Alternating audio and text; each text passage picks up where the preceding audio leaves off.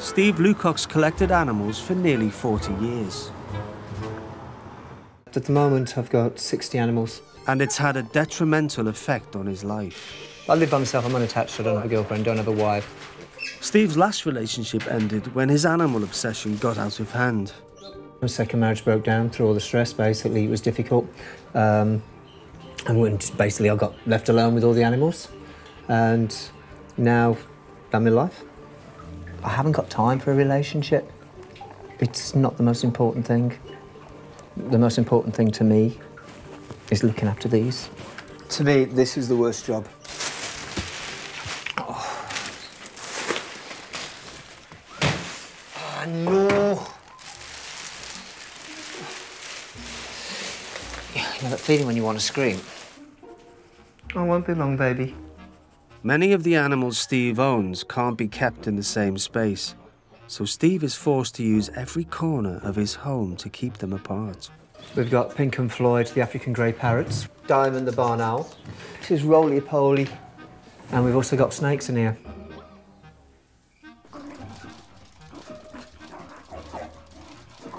This here is Zoltar. This is Zeus. He's a platinum fox. That there's Zante. This is little Lola. This is my bedroom, or should I say Flower the Meerkat's boudoir. Steve got hooked on animals at the tender age of seven. I've always had a love for animals. I used to watch wildlife programs. I used to get upset when people used to harm them. I used to want to be able to do something for them. I used to want to take every single animal under my wing and help it. And that's never changed. And he's dedicated his life to his obsession. I honestly believe that my purpose is to help these animals make a better future for them. I don't think that is an addiction. I think that's caring. I think that is what humanity should be. I can't understand anybody that doesn't want to care for animals. I don't understand people that want to harm them. Last but not least, come on. And Steve's compulsion to care has no limits. One day you look and think, oh my God, that 60's become nice? 80, which I'm sure will happen. Um, I can't say no. Yeah, this one here's a new arrival, by the way. Yet another mouth to feed. The trouble is, Steve can no longer afford to keep up his habit. I'm literally counting pennies every day. Counting pennies, working for pennies, and every penny goes straight to the animal. It's yeah, it's it's extortionate. It really, really is. I mean, you can be looking at close to a grand a month, especially if there's vet bills thrown in. And then I was struggling and I'm borrowing off my mother. I'm just. But however much they cost, Steve's adamant no one is leaving. Regardless of money, finance, whatever, sell the last shirt on me back to feed them. Virtually eaten out of house and home by his 60 animals, Steve Lucock's life is a far cry from what it once was. When I was in my early 20s, I was at Holiday Park as a comedy magician. I had some animals in my caravan, and I was told I had to get rid of them because animals weren't allowed on the site, which is why I lied and said they were in the act. And the act basically caught on.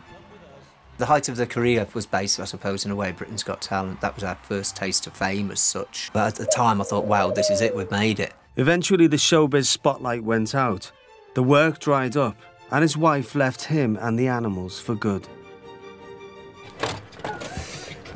He's molting like mad.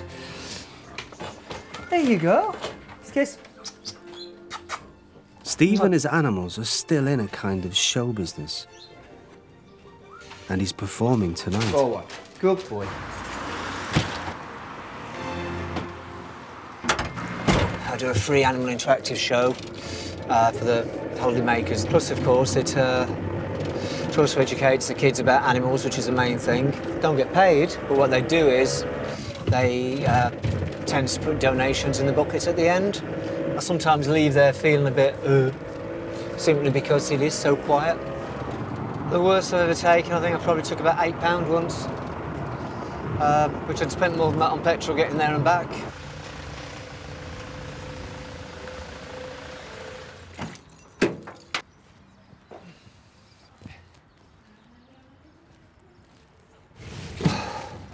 Looks like a play school with not many kids there. Let's get in gonna be fun, isn't it? oh dear. Hi, kids! Everybody do what I do after three. One, two, three. Whoa! So everybody do what I do. Go, whoa! Steve hopes his act will teach kids to be more compassionate towards kids, it's not animals. Try again. I'm joking. Oh, bless him. It's all right. But it's not working out too well.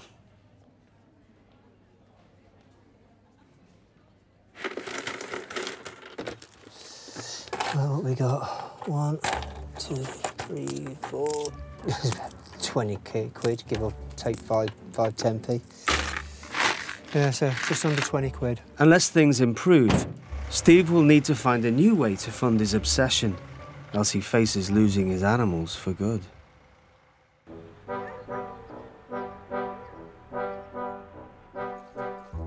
With 60 animals dependent on him, a career going nowhere, and facing financial disaster, Steve Lucock's hit rock bottom.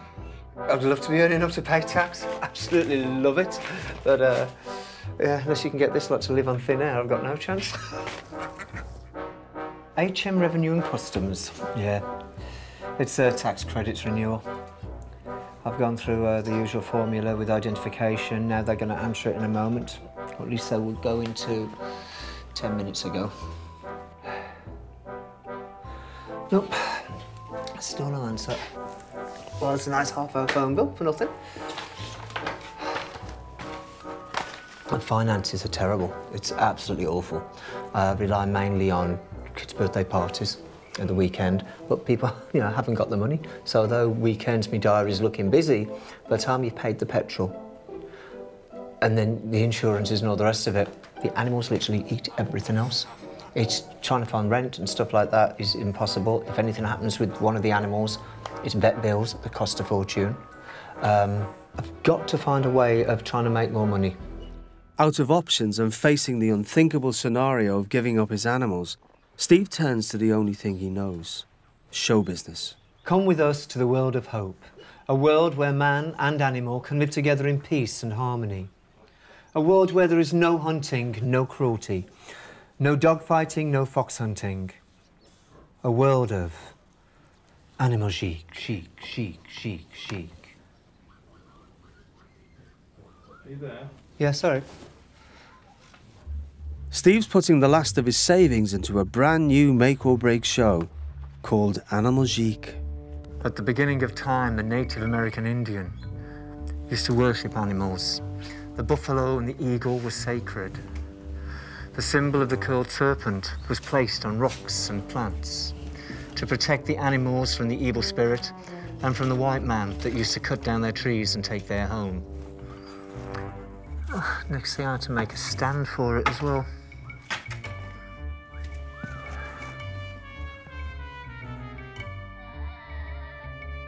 This tree trunk here I had made, and as you can see, it's got little doors on it. I've still got to work out how to open them, but basically there's an animal inside. Obviously I wouldn't put a big animal in there because it would be cruel. I want something that can go in there and walk about and be happy whilst it's there. Uh, and the idea is at certain points when I open this, it will jump out and come up for a cuddle.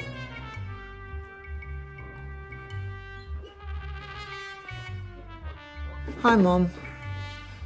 Why are they cutting all the trees down? Where have the animals gone? When there's no trees, where are, we going where are they going to live? What about the raccoon? The meerkats? The foxes? There's still a lot of work to do for it, but at least I've made a start. With everything on the line for Steve, the pressure's showing. That's one of the hardest parts about doing this. It is something really close to my heart.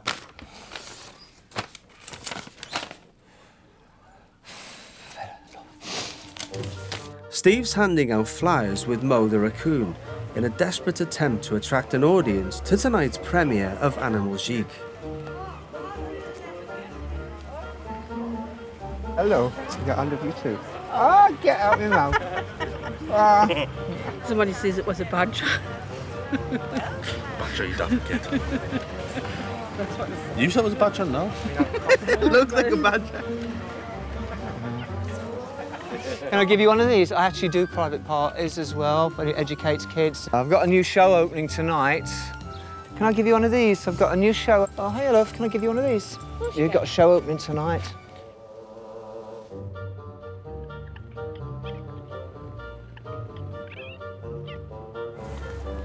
No, you mate. Ah, it's a baby raccoon. Yeah,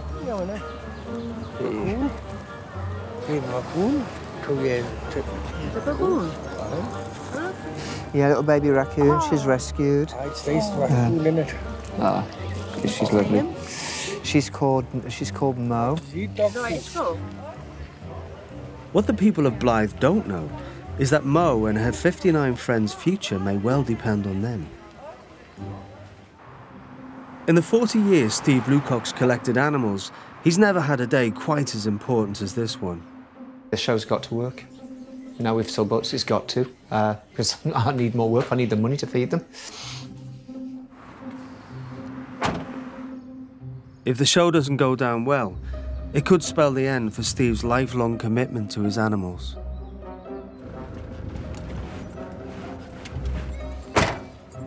Without the animals, I wouldn't have a reason to get up in the morning. Worst case scenario, I'll get thrown out of the house. I'll lose the animals. That is not going to happen. I won't let it happen. But the fantastic Steve Lucock and his Machine live on this very stage in just a few moments' time. I do believe that if there's a purpose in life, then my purpose is to help all animals. And for as long as I live, I will continue doing that. After years of performing in front of one man and his dog, Steve's desperate for a good turnout. Please give a massive standing wave warm welcome to the main man himself, Mr. Steve Lucock.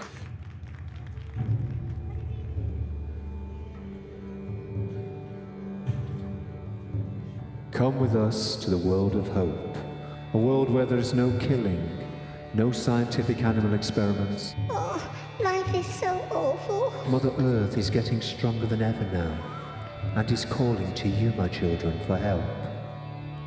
So look deeply into yourselves and then into the animals around you. Allow your love to grow.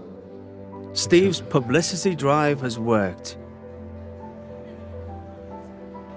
It's a full house. You children are the next generation. You can change the laws, you can change the rules. You are the hope for all these animals. I absolutely loved the show. It was really, really exciting, and my son had an absolutely great time. And it was a great story to give the children about the future. There you go, sweetheart. Everyone say goodbye to little Mo.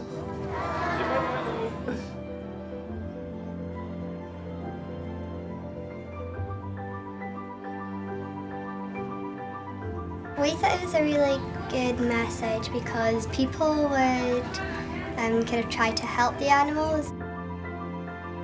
I think it was a good message because it intrigued me to help animals when I was older. It's amazing. It's uh, that's brilliant. I'm really pleased that it works. Looking forward to a better future. That's what it's all about. With a hit show in his hands, Steve can earn the money he needs to keep his animals and no doubt increase his collection too. I'm happier than I've been for ages. It's brilliant. Really, really great. Um, everybody's got their own agendas, everybody's got their own life. This is my life. And it's hard, it's difficult. Animals don't live as long as us, so it can be heartbreaking. but it's a life I've chosen, and it's a life I'm going to stick with. So long as an animal needs help, I'm going to help them.